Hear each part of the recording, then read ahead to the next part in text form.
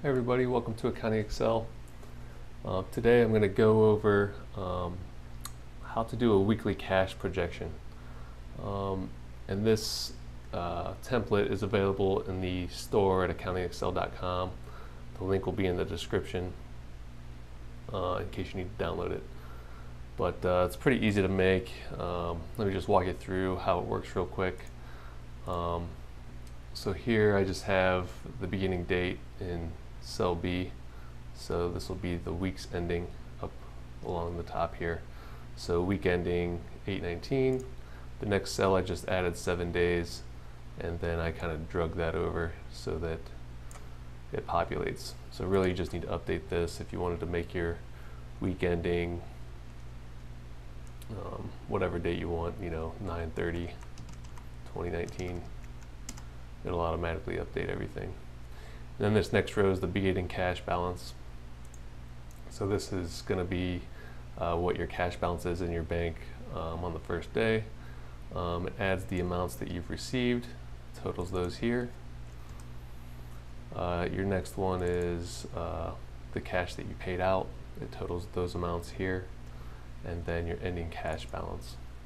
And that adds everything up. And that comes over to the next column. Um, so you can see that there's a formula in here B20, that is the ending balance from the previous week. And so um, down here I have uh, some businesses have a line of credit um, and this is kind of part of managing your cash. Uh, so I added a line of credit down here and it's got the maximum amount um, that you can draw down on your line of credit, the beginning balance of your uh, whatever your line of credit balance is, the payments that you made on your line of credit, how much you've drawn down from your uh, bank line, and then your ending balance here. Um, and then it calculates how, how, much you have available on your line of credit um, up to your maximum in this column or in this row. And then it shows the total available cash that you have for operations down here. Um, shows your bank balance plus the amount that you you can draw down on your line of credit. And this is kind of the same as the, the cash portion where it takes the beginning balance is the ending balance from the last the last week. So I'm going to go ahead and put in a freeze pane here um, so that it doesn't move whenever I scroll. All right, so um, as I said, this is available at the AccountingExL store. Uh, I also wrote a blog recently about this. Um, it's called Managing Cash When It Gets Tight. And so this is a tool that I've used uh, in the past to kind of manage my cash and kind of determine, you know, if I need to pay uh, some vendors, um, kind of prioritize them and prioritize my payments so that I you don't want to run out of cash. And this tool helps helps you not do that. So to illustrate this and how it works, I'm going to um, pull in a couple things for the example. So I have hidden here um, an AR ledger and an AP ledger. I'll just pull those open real quick. So really what you want to do is you want to start with your beginning cash. And for this example, we're just going to start with a bank balance of a million dollars. So go ahead and enter that in there, and then you can see how it populates across. Um, and then the second part of it is you want to you want to populate uh, your customer receipts um, and your receipt section of it. So you can do this manually uh, by coming over to, and I should kind of back up for a second. Your accounts receivable ledger. This typically would come out of your accounting system. Um, if you have one, and it probably won't be formatted like this, but something that you definitely need to have is you need to have the due date of when it's supposed to be paid, and you need the amounts. That's, those are two kind of requirements for this cash projection to work. Because what we're going to do is we're going to take this due date and we're going to populate those um, as they as they are projected to come in uh, during these weeks. So real quick, um, as I said, you can do it manually. And to do it manually, what I would do is I would just kind of sort these by the due date. Um, and if you um,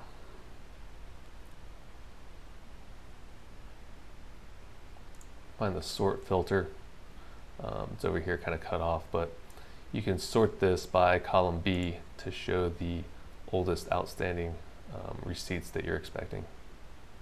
So it's kind of organized in that manner a little bit already, but you can see here how there's some due dates on 814, some of them are on 830, some on 914, some on 930. So instead of doing that, and I think this is a better way to do it because once you do it, it takes a little bit of time to set up, but once you do it, you can kind of uh, drag the formulas across and keep this spreadsheet going for as long as you need so you don't have to continually manually do everything. So the way I'm going to do that, and I've created a video on this, uh, there's a SUMIFS video out there that I put out um, to kind of show and walk through how a SUMIFS function works. But that's what I'm going to use to do this. So to do that, I'm just going to go SUMIFS and put the sum range.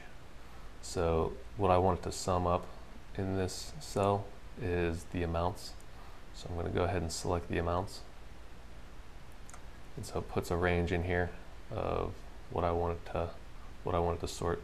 And I'm just going to lock that in because I want to drag this formula across different cells. So I'm going to push F4 and that puts these dollar signs in there so that you can uh, drag it and those cell references won't move. I'm just going to hit a comma and then the next part of that is the criteria, criteria range. So I want it to sum based on the due date because I'm trying to project out when these receipts are going to come in and I'm expecting them to come in on the due date. So I'll just go ahead and push F4 to lock those in there. And then the next part of this is the criteria. So our criteria is going to be the due dates. Um, so I'm going to go ahead and select this cell because that's my weekend. So I'm expecting it to come in by this due date. And if it if it meets this criteria, it's going to sum that amount up into this cell. So go ahead and close my parentheses there. So now what this does, and I need to change this back because I kind of set this example up uh, with a certain date in mind. So we'll go ahead and change that. So what this does is it looks for anything that's on 819 and it sums it up here. So right now it's zero. But we, we don't, what we want to do, this, is a weekly cash projection, we want to uh, sum up all the days. So right now I just have one day. So an easy way to do that is just to copy this formula. I'm just gonna put a plus sign here and paste that formula in. Okay, so now I have two formulas. And so I wanted to I want it to look to this 819, but I wanted to look to 818 as well.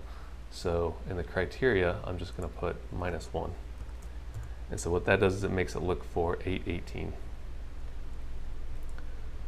And uh, I need to look for an entire week. So I'm going to put minus 1, minus 2, minus 3, minus 4, minus 5, minus 6. And I'm going to go ahead and do that real quick um, to, to save a little bit of time. Okay, so you can see here where I finished off the rest of the formula uh, I put in from 819 and then minus 1, minus 2, all the way through minus 6, and that should encompass the entire week. So go ahead and hit enter there, and then I'm just going to drag this across to populate the rest of the spreadsheet. So what this did is it just looked up to the AR ledger and summed everything up and put it in the correct buckets on this timeline so that we can see when, we're, when that cash is going to come in. So the second part of this is to uh, get our vendor payments populated in here. So I'm going to do the same type of thing with a SUMIFS function to populate this. So just go SUMIFS, and then my sum range is going to be the amounts. And I'm going to go ahead and lock those in, pushing F4, comma, criteria range is going to be the date for my first criteria. Go ahead and hit F4 and then my criteria is going to be the date.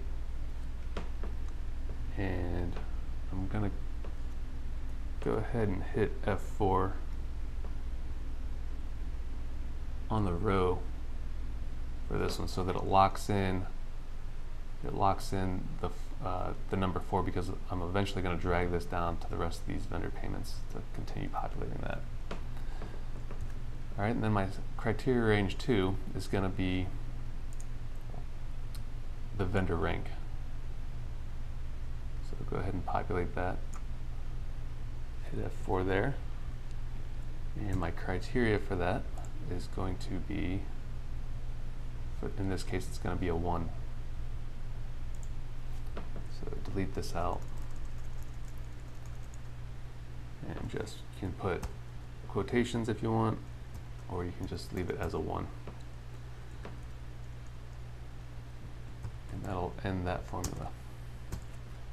Okay, so that's populated. What I'm going to do is I'm going to go ahead and populate the rest of these and uh, come back and show you um, because I need to put in the same type of thing here, minus 1, minus 2, minus 3, minus 4, minus 5, minus 6, so that it populates the entire week, and then we can drag it across. So let me go ahead and do that real quick. Okay, so you can see that I put in, just like I did above, the rest of the formulas, uh, minus 5, minus 6, um, you know, populating the rest of this formula. So now it's pulling over from the AP ledger. And what it's doing is it's looking here and it's saying, okay, these amounts here, it's putting it into the correct buckets based on the date and the vendor rank. So right now it's looking for vendor number one. So a couple of these. And this guy's in yellow, he's a vendor number five, somebody that we're likely not gonna pay, so we don't wanna include them in our payment schedule. So this is populated, we can go ahead and drag this over to the rest of the spreadsheet. So now it's just a, a couple uh, little things left. So as I said before, we're going to drag this down.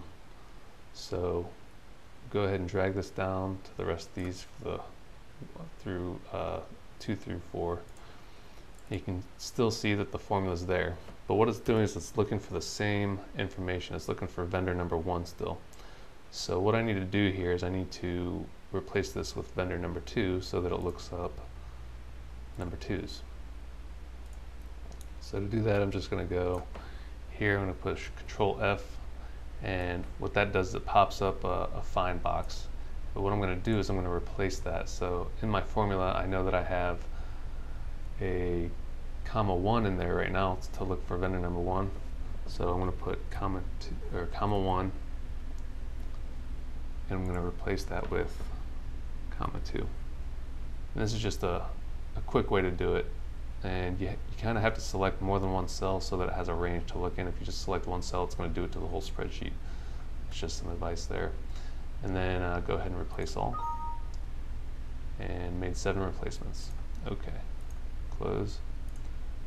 So we can go ahead and drag that guy over. Populates there. And then the same thing we're going to do, Control F.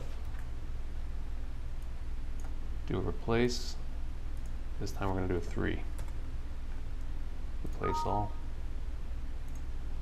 We're good there. And then we can go ahead and select the last one, do a comma 4. Replace all. And it's all replaced. Now we can go ahead and drag these over as well. Okay, so we have everything projected out. We have all of our customer seats projected out uh, for three months or 12 weeks. And to, to continue this on, all you need to do is select select this and just keep dragging it. So if you want to add a week, it's really easy to add one.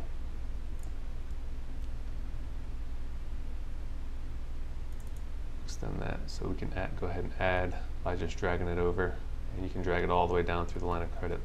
So let's go ahead and make some assumptions and uh, I'll kind of illustrate why it's so important here. So we've got our customer receipts, we've got our vendor payments, but what we're missing is still our payroll payments. So there's a row here for payroll, payroll and taxes. So let's just assume that our we know that our payroll is around 200,000 every every two weeks. So let's go ahead and put that in there and see how it affects everything.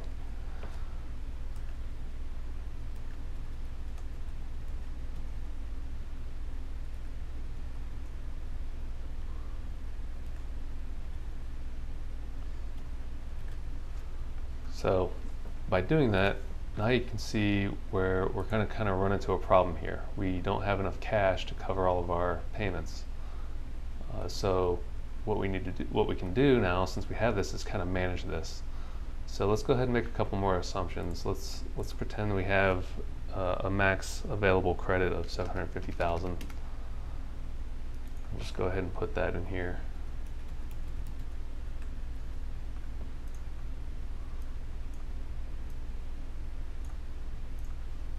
Go ahead and put 750,000 in there. We have 550,000 outstanding on our line of credit. So that leaves us available 200,000 left. And down here is the total cash available that we have. So you can see that we, we still have a problem here because because we're still we're still going negative. So and this this kind of this can happen a lot if you, if you don't if you can't foresee the future, you kind of run into some problems here. But since we can see what's going on, we can make some decisions in September and October that'll have an effect on this cash balance back here. So we know we have $200,000 left. So what we one thing we could do is we could draw down on our line of credit. So if we draw down our 200,000 here, that gets us to a positive cash balance.